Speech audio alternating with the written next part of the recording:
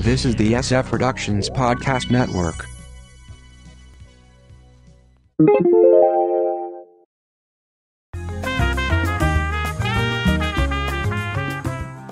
On this special episode, I wanted to talk about something that we would normally cover on our comic podcast, How I Got My Wife to Read Comics.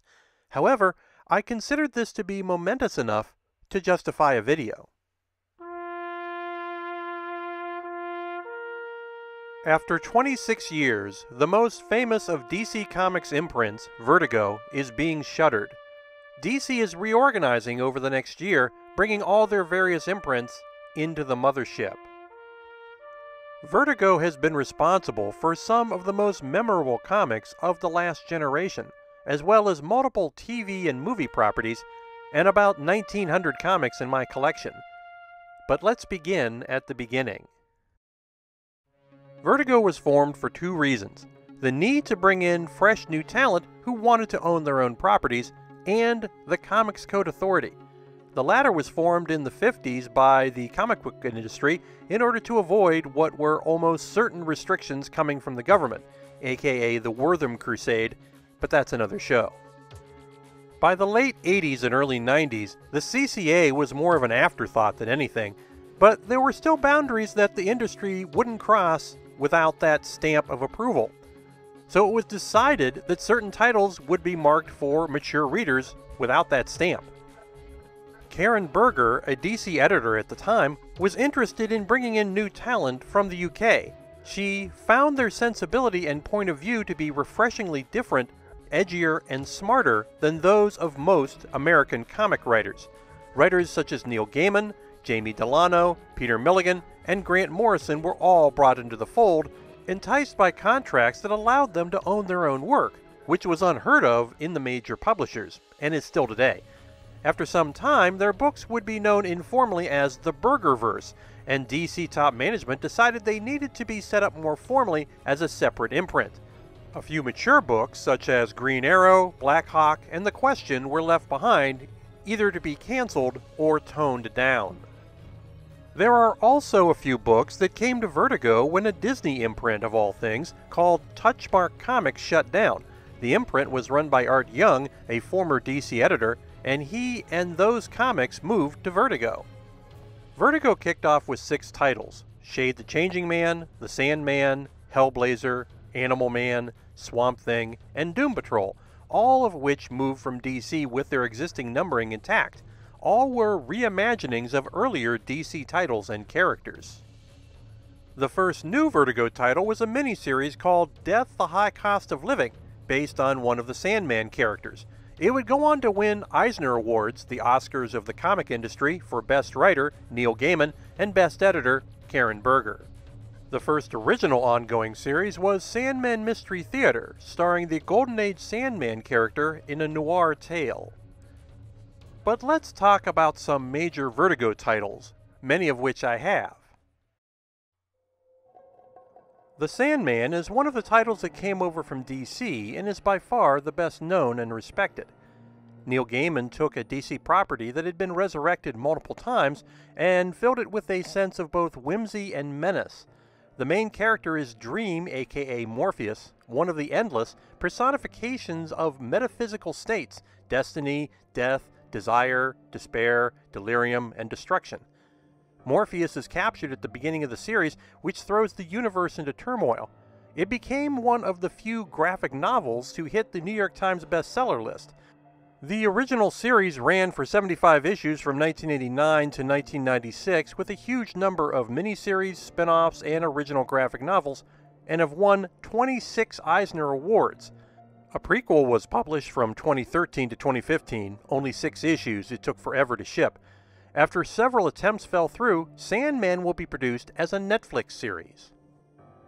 The Dreaming was originally an anthology and a spin off of Sandman, starring all of the characters in that continuity the Corinthian, Matthew the Raven, Cain and Abel, Lucian the Dream Librarian, the fairy Nuala, Eve, and Mervyn Pumpkinhead, minus its star, and written by a rotating list of creators. It later changed into an ongoing storyline. It ran for 60 issues from 1996 to 2001 and was just recently rebooted. Lucifer was another Sandman spin-off involving the original fallen angel. He also showed up in other Vertigo and DC titles. He's had various miniseries and series, with a current one at Vertigo. Of course, the character just completed a Fox TV series. House of Mystery and House of Secrets were two old DC horror titles that were reimagined by Vertigo. Cain and Abel, yes, the Cain and Abel, were the masters of the two houses and used to act as narrators for horror stories in the style of The Crypt Keeper. During the Vertigo era, they were pulled into the Sandman title, and various series and miniseries came out of that. There is currently a Sandman Universe set of Vertigo titles, part of a final attempt to save the imprint in 2018, which includes The Dreaming, House of Whispers, Books of Magic, more on that title in a moment, and Lucifer. Animal Man originally began as a four issue miniseries at DC, but was converted to ongoing based on strong sales, partly due to the writing work of Grant Morrison. It ran from 1988 to 1995 at DC and Vertigo and starred Buddy Baker, a superhero originally created in the 60s with the power to assume the abilities of any animal. The newer series championed animal rights. The character would return to DC proper during the New 52 era. Doom Patrol was another book that moved from DC to Vertigo. Both gritty and trippy, it took a wacky group of Silver Age freak characters and explored psychoses, sex, and the underbelly of culture.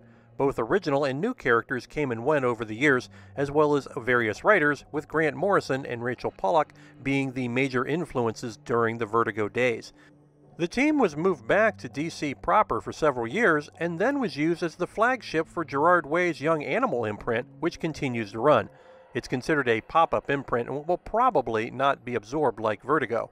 It ran for 87 issues from 1987 to 1995, including its start at DC the first season of a Doom Patrol series, heavily influenced by the Vertigo run, just completed at the DC Universe streaming site. Swamp Thing was introduced in 1971's House of Secrets title as a bayou monster made of plant matter before getting his own book. Old Swampy would get a second series in the early 80s, coinciding with a Wes Craven film version. The concept of the Green and the Parliament of Trees expanded the character into a whole mythology and the move to more adult content from writer Alan Moore necessitated the move to Vertigo as part of its initial launch. A third and fourth Vertigo volume from Brian K. Vaughan and Andy Diggle, respectively, was followed by a move back to DC proper as part of the New 52. During all this, there was a TV series in the 90s, multiple appearances in DC animation, and recently, a DC Universe streaming series, which was quickly canceled, although Season 1 episodes, as of this recording, are still coming out. Hellblazer was another of the titles to come from DC over to Vertigo, and a spin off from the Swamp Thing title. It followed the adventures of John Constantine, a UK conman and occult detective with questionable morals, but one who would become an anti hero when the chips were down. It was a dangerous thing to become his friend, as things would not go well for you in the end. Constantine would make guest appearances in both the Vertigo and DC lines over the years, and even switch back over to DC in 2011 during the New 52 era. Under various versions, the title ran from 1988 to 2013 for a total of 300 issues, with major runs from writers Jamie Delano, Garth Ennis, Paul Jenkins, Warren Ellis, Brian Azzarello, Mike Carey, Andy Diggle, and Peter Milligan. A return of the title has just been announced. Constantine has been a film with Keanu Reeves and TV with Matt Ryan, who moved over to CW's Legends of Tomorrow.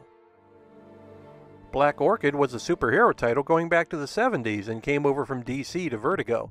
She was a human plant hybrid in the spirit of Swamp Thing. Her abilities include super strength, flight, and a master of disguise. She went back and forth between DC and Vertigo over the years. Shade the Changing Man was the final title to move from DC to Vertigo for its launch. A concept that was trippy to begin with, an alien with an M vest that could change his appearance based on his or others' mental state, written by Steve Ditko in the 70s, was now stuck in the body of a convicted killer.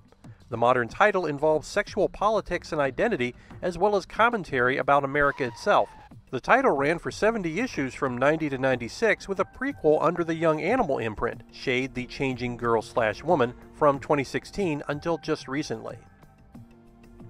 The Books of Magic is a sprawling tale created by Neil Gaiman and John Bolton, starring a boy named Tim Hunter who becomes a great wizard while figuring out adolescence and young adulthood. It was one of the titles that came over from DC proper, where it was originally designed to showcase DC's magical community. The title has had various miniseries, ongoing series, crossovers, and specials, with a current run recently underway. Fables was created by Bill Willingham and designed to answer the question what do fairy tale figures do in the real world?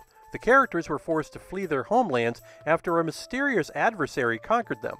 They ended up in a modern day New York City, living in a clandestine community known as Fabletown. All your favorites are here Snow White, the Wolf, now lovers, Prince Charming, Boy Blue, Jack, one guy was all the Jacks, Beauty and the Beast, Old King Cole, who acts as mayor, Rapunzel, Pinocchio, you name it. Willingham wrote all 150 issues published between 2002 and 2015. There were also spin offs, including Cinderella, a set of miniseries turning the character into a Bond esque secret agent. Fairest, an ongoing series, 32 issues from 2012 to 2015, with arcs starring your favorite non Disney princesses. Jack of Fables, where Jack goes to Hollywood and turns his stories into blockbusters. Bringing attention to yourself is a big no no, so the rest of the series is him on the lam. It ran 50 issues from 2006 to 2011. Ever After from the pages of Fables was just that, a continuation of the main series with a number of new characters. As a whole, Fables won 22 Eisner Awards during its run. We consider it to be the template of the gateway title to bring your significant other into comics. You may wonder why Fables was never translated into TV or film. Well, it was tried but fell through, so ABC just reworked it into Once Upon a Time. Brian Azzarello's 100 Bullets ran for 100 issues, which tied into the main concept. A mysterious agent would hand someone who had been terribly wronged a gun with 100 untraceable bullets, one of which they could use to take revenge.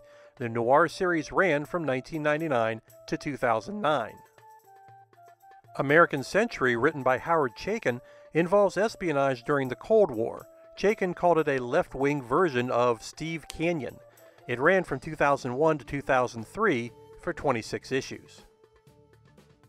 Rick Veitch's Army at Love was a dark satire about a near future war in the Middle East with co ed troops and involved a lot of sex. It ran for 18 issues from 2007 to 2009 over two miniseries. Astro City was a continuation of Kurt Busiek's Silver Age comic book pastiche that had moved from company to company over the years and ran at Vertigo from 2013 to 2018 for 52 issues. This has been one of our favorite comics over the years and a great way to bring new people into comics. It concentrates on how civilians live and work in a world of superheroes. Busiek promised more Astro City down the road, but no word yet. Brian Wood's DMZ involved a near future during a second American Civil War, sounds familiar, where Manhattan is now a demilitarized zone. It ran for 72 issues from 2005 to 2012. Human Target was attempted twice at Vertigo for a total of 25 issues from 1999 to 2005 and written by Peter Milligan. The protagonist is Christopher Chance, a man that, for a fee, will take over your life if you're in mortal danger. He would often have psychological issues following the time he would live in another person's life. There were two different TV series based on the character in 1992, pre Vertigo, and 2010. Grant Morrison's The Invisibles was a secret organization battling against physical and psychic oppression using time travel, magic, meditation, and physical violence with a focus on the latter. Not a title for the kids. It ran from 1994 to 2000 in three volumes and 59 issues. I highly doubt you will ever see a TV series or film come out of this. Andy Diggle's The Losers was loosely based on an older DC war title set in World War II the new series was set in contemporary times and involved the War on Terror following a special forces team working with the CIA. It ran for 32 issues from 2003 to 2006, with a film produced from 2009 to 2010. Brian Azzarello's Loveless was a gritty western about a Civil War Confederate who went to a prison camp, later released, and ends up as the sheriff of his old hometown, now under control by the North. It ran for 24 issues from 2005 to 2008. Madame Xanadu debuted in Doorway to Nightmare back in 1978, the final Bronze Age DC horror title. She's a mystic and was the ancient goddess Nimue from Arthurian myth. Her Vertigo run from Matt Wagner ran from 2008 to 2011. Brian Wood's Northlanders was an anthology series, all involving protagonists in the Age of Vikings, and ran from 2008 to 2012 for 50 issues. Garth Ennis's Preacher stars Jesse Custer, a small Texas minister who's possessed by the offspring of an angel and a demon, making him potentially the most powerful being in the universe. He travels the country looking for God and causing havoc. The title ran for 75 issues from 1995 to 2000. There's a Preacher series currently running on AMC. Scalped was a tale of modern Native Americans in South Dakota and involved crime, poverty, drug addiction, and cultural identity. Jason Aaron's work ran 60 issues from 2007 to 2012. A 2017 TV pilot did not sell. Sweet Tooth was Jeff Lemire's first mainstream comic book and ran for 40 issues from 2009 to 2013. A post apocalyptic tale involving a young boy slash deer hybrid named Gus, created by a scientific facility that caused the catastrophe. It involves growing up while being constantly on the run as Gus, aka Sweet Tooth, named for his love of candy, met others of his kind. Lemire is now a major creative force. Descender, Black Hammer, Royal City, a TV pilot for Sweet Tooth was ordered in 2018. Transmetropolitan was a transplant from another failed DC imprint called Helix that specialized in sci fi. It stars a gonzo journalist named Spider Jerusalem living in the 23rd century and digging for the truth. This often involved fighting the man. Warren Ellis's work ran 60 issues from 1997 to 2002. The Unknown Soldier was yet another repurposed DC book, in this case a 1966 war title. The Vertigo version was a gritty telling of war and the CIA. Joshua Dysart's title ran from 2008 to 2010 for 25 issues. Mike Carey's The Unwritten stars Tom Taylor, a boy whose father uses as the inspiration for a Harry Potter esque series of books. An adult Tom learns that the fantasy world of the books actually exists and that he is or can be a wizard. It's all about the price of celebrity. He is hounded by fans of the Tom Taylor books and the relationship between fiction and human consciousness.